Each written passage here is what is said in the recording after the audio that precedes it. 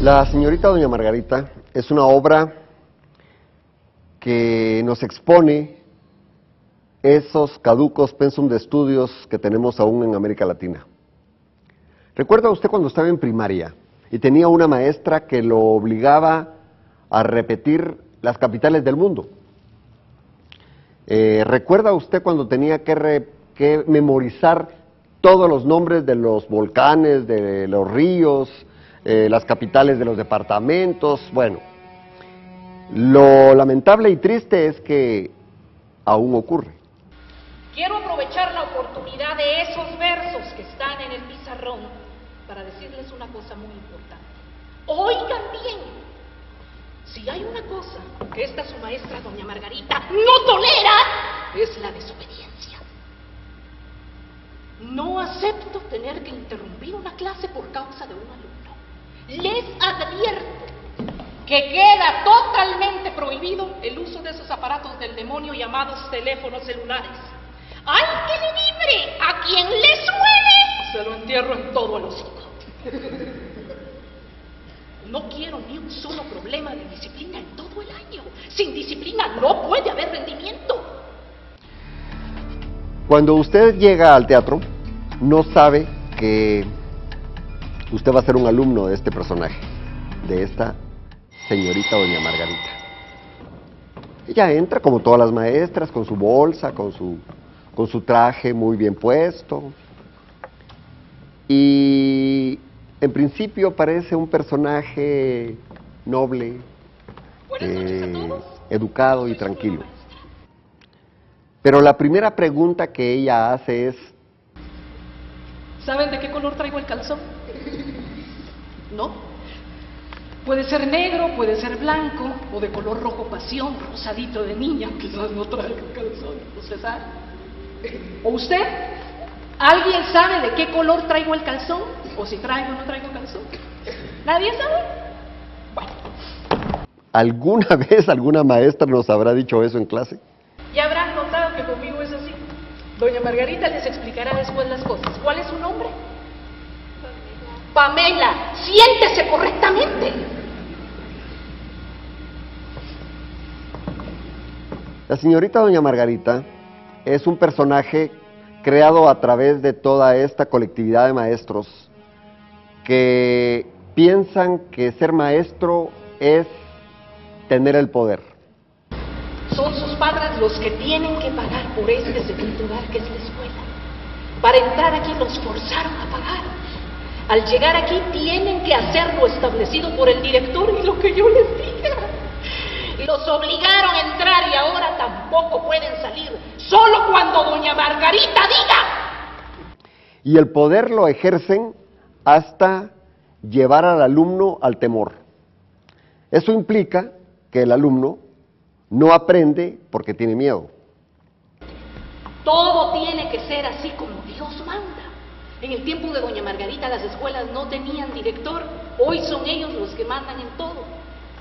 Pero no crean que solo por eso tengo la obligación de parar la clase cuando suene la campana. En esta clase la que manda soy yo. Al mismo tiempo, la señorita Doña Margarita se presenta como ese personaje inmaculado con todos los valores morales y como un ejemplo para la sociedad. La gratitud es la mayor de las virtudes. Todos deben estar agradecidos con sus padres y con sus maestros. Pero doña Margarita no es maestra porque espera esa gratitud de los alumnos. Todo el bien que doña Margarita les hace es totalmente desinteresado. El día de mañana, cuando sean grandes y adultos, comprenderán mejor las palabras de doña Margarita. Entonces aprenderán los malos pensamientos que tuvieron sobre doña Margarita. Sí, porque no van a negar que tienen malos pensamientos sobre doña Margarita. No lo van a negar, ¿o sí? Doña Margarita les pregunta que quién de ustedes tendría el coraje de decir lo que piensa sobre doña Margarita. Tienen miedo de hablar. Nadie dice ni mierda en esta clase. son unos cobardes. Pues díganlo en mi cara lo que tienen que decir. ¡Hablen, hablen! ¿Quién será el primero que dé un paso al frente y diga algo? Banda de mierdas. Le doy una trompada al primer cabrón que se atreva. ¿Quién va a venir? Va a decir que doña Margarita es una ramera. Pues soy una ramera realmente. ¡Ah! Y sepan que doña Margarita es una yegua loca. Soy una sobra loca.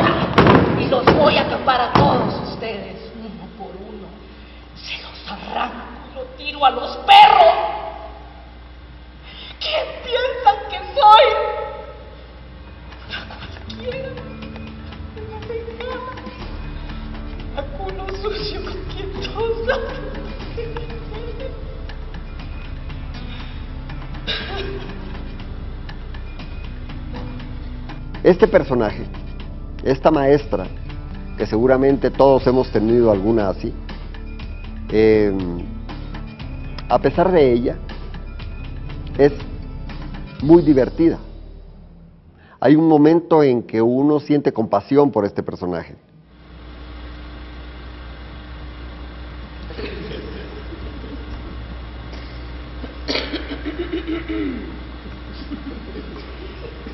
¿Vieron bien? Doña Margarita no tiene esqueleto. Brazos de Doña Margarita son absolutamente flexibles. No son como sus brazos. Doña Margarita es toda flexible.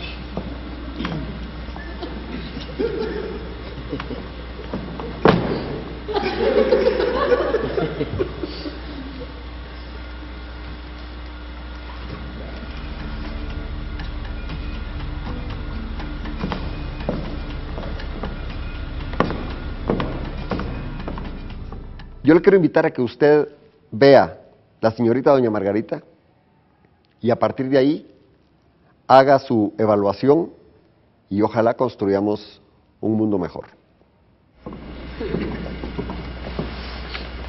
Se ponía detrás de Doña Margarita en el patio del colegio a la hora de cantar el himno nacional. Se paraba cerca de ella.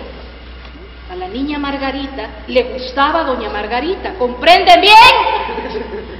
La niña Margarita se apoyaba sobre Doña Margarita, se acercaba y a la hora de cantar el himno nacional, en vez de cantar, ella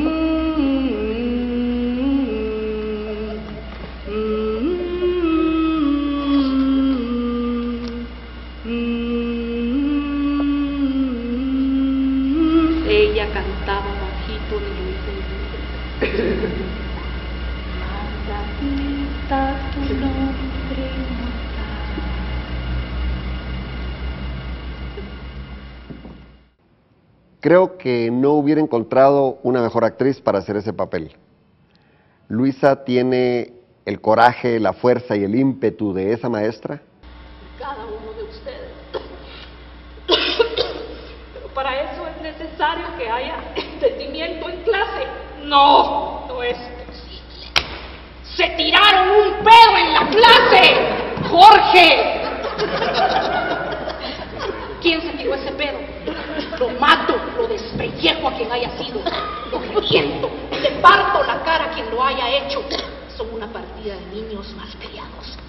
Piensan que acaban con doña Margarita, piensan que voy a interrumpir la clase a causa de un pedo como ese. Están muy equivocados. Que el culpable de ese pedo se presente al pizarrón para ser castigado. pero al mismo tiempo tiene el sentido del humor Saldrá de aquí con las nalgas. para burlarse de sí misma y hacerse burlar así de sí mismo al mismo personaje. Y por último tiene la ternura para conmover. Y si quieren saber lo que las cosas hacen, tampoco hay ningún problema. Lo que las cosas hacen las unas con las otras es el verbo. Nadie hizo nada nunca que no fuera verbo. Es el verbo hacer. Hacer es un verbo. Esa es la explicación de todo. Todos los días la carne se hace verbo, la carne se hace verbo todos los días. Es el verbo hacer, es el verbo esperar, es el verbo dar, es el verbo sufrir, es el verbo herir, es el verbo curar. Es el verbo gritar, es el verbo aprender, es el verbo jugar, es el verbo obedecer,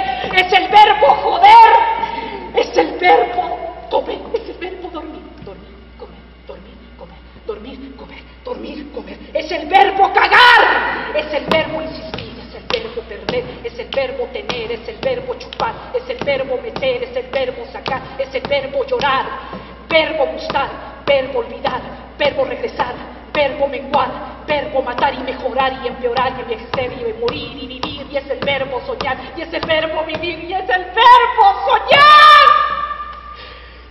Todo es verbo. Así que tanto Luisa como yo estamos muy contentos del trabajo que hemos realizado. Ha sido un trabajo analítico profundo y eh, lo disfrutamos porque los dos amamos este trabajo, el teatro.